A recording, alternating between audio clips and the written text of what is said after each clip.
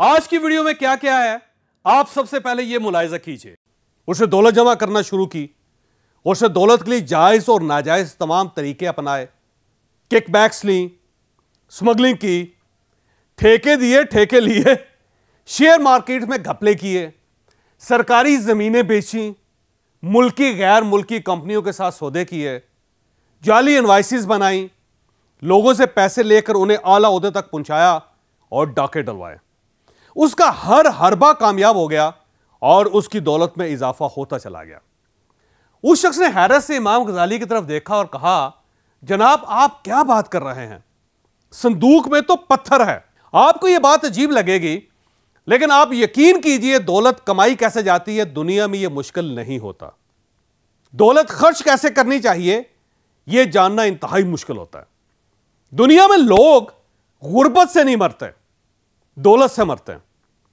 भूख से नहीं मरते, खाकर मरते हैं और नाकाम रहकर नहीं मरते, कामयाब होकर मरते हैं। दौलत के इस्तेमाल का एक फार्मूला है। यह फार्मूला 25 25 25 और 25 कहलाता है। मैं हूँ जावेद चौधरी और आप देख रहे हैं माइंड चेंजर। हमारे साथ एक साल में 10 लाख लोग जुड़ चुके हैं। अगर आप इनमें शामिल नहीं हैं तो आप इस सुर्ख निशान को टच करके इस चैनल को सब्सक्राइब कर दीजिए और घंटी के इस निशान को भी हल्का सा पुश कर दीजिए। मुझे यकीन है आपका यह फैसला आपका मुकद्दर बदल देगा। सदियों पहले किसी शाही खानदान के किसी शख्स ने किसी दानश्वर से पूछा, दुनिया की सबसे ताकतवर चीज़ क्या होती है? दानश्वर उस वक्त माली तंगी से गुजर रहा था। उसने फ़ौरन जवाब दिया, रुपया, पैसा, माल, दौलत, ज़मीन और जायदाद। ये सब ताकतवर हैं। उस शख्स ने वजह पूछी। दानश्वर ने जवाब दिया, तुम माल और दौलत से दुनिया की हर चीज़ खरीद सकते हो। उस शख्स ने दानश्वर की बात पल्ले बाँध ली और उसने दौलत के ज़रिए दुनिया का ताकतवर तरीन शख्स बनने का फैसला कर लिया। उसने दौलत जमा करना शुरू की। उसने दौलत के लिए जायज़ और नाजायज तमाम तरीके अपनाए। किकबैक्स ली, स्मगलिंग की, ठेके दिए, ठेके लिए। शेयर मार्केट में घपले किए, सरकारी जमीनें बेची, मुल्की गैर मुल्की कंपनियों के साथ सौदे किए, जाली इन्वाइसिस बनाई, लोगों से पैसे लेकर उन्हें आला उहदे तक पहुँचाया और डाके डलवाए। उसका हर हरबा कामयाब हो गया और उसकी दौलत में इजाफा होता चला गया। मैं आपको यहाँ यह भी बताता चलूँ, इंसान जब दौलतमंद होता है तो उसको दो मसले ज़रूर पेश आते हैं। पहला मसला यह अपनी दौलत को छुपाए कहाँ? क्योंकि दौलत अपने साथ हमेशा छिन जाने का खतरा लेकर आती है। आप यकीन करें, इंसान को दौलत कमाने में इतनी मेहनत नहीं करना पड़ती, जितनी मेहनत इसे अपनी दौलत छुपाने के लिए करना पड़ती है। दूसरा इशू, इंसान को अपनी दौलत देखकर बहुत खुशी महसूस होती है।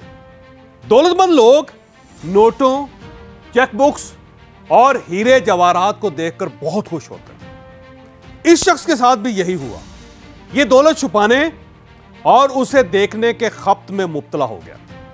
इसने अपनी दौलत एक बॉक्स में बंद की और यह बॉक्स सहन में दरख्त के नीचे ज़मीन में दफन कर दिया। अब यह शख्स रोज दरख्त के पास आता था, अपने खजाने के ऊपर खड़ा होता था और खजाने की मलकियत के एहसास से खुश होता था। यह सिलसिला कई माह तक चलता रहा। यहाँ तक कि लोगों को भिनक पड़ गई। एक रात चोर आए और उसका सारा खजाना निकाल कर ले गए। उस शख्स ने सुबह जब दरख्त खुदा हुआ देखा और अपना बाक्स खाली देखा तो उसने रोना धोना शुरू कर दिया। यह हज़रत इमाम गजाली का दौर था। इमाम गजाली को इस वारदात का पता चला तो वो उस शख्स के घर तशरीफ़ ले गए। लोहे के संदूक में एक बड़ा सा पत्थर रखा, संदूक दरख्त के नीचे गड़े में दफन किया, उस पर मट्टी डाले और उस शख्स से फरमाया कि, लो, तुम्हारा खजाना वापस आ गया। तुम अब रोज यहाँ आया करो, खड़े हुआ करो और मलकियत के एहसास से लुत्फ उठाया करो। उस शख्स ने हैरत से इमाम गजाली की तरफ़ देखा और कहा, जनाब, आप क्या बात कर रहे हैं? संदूक में तो पत्थर है। मैं यहाँ आपको चंद लम्हों के लिए रोकूँगा और आपको पिछले हफ़्ते की सीईओ ट्रेनिंग के बारे में कुछ बताऊँगा। कामयाब कारोबारी फैमिलीज़ को पहली नस्ल में चार बड़े इश्यूज़ फेस करना पड़ते हैं। पहला इशू, हमने काम करना है या अपनी टीम से काम करवाना है। ये लोग दूसरों से मेहनत करवाने के बजाय खुद दिन रात मेहनत करते रहते हैं। मैं इस सूरत हाल को इस तरह रीड करता हूँ, आपने 2000 लोग मुलाजम नहीं रखे हुए, बल्कि इन 2000 मुलाजमों ने आपको मुलाजम रखा हुआ दूसरा इशू, ये काम में गर्क हो जाते हैं और अपनी और अपने खानदान की मेंटल, स्पिरिचुअल और इमोशनल ग्रोथ पर तवज्जो नहीं दे पाते। तीसरा इशू, ये डे टू डे अफेयर्स में इतने मुलवस हो जाते हैं, इतने खुब जाते हैं कि ये अपनी बिज़नेस ग्रोथ प्लान नहीं कर पाते। और चौथा इशू, ये अपने आप को अपने बिज़नेस से पुल आउट नहीं कर पाते। यूँ ये अपनी अचीवमेंट अपनी वेल्थ को एंजॉय किए बगैर दुनिया से रुखसत हो जाते हैं। हमने पिछले हफ़्ते लाहौर में 11 बड़ी ग्रोइंग पाकिस्तानी कंपनीज़ के सीईओ का एक ट्रेनिंग सेशन किया था। आप इसकी झलकियाँ मुलायजा की